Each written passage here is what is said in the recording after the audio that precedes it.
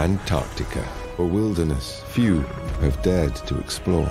Discover how what happens here affects us all. Now showing at the St. Louis Science Center OmniMax Theater.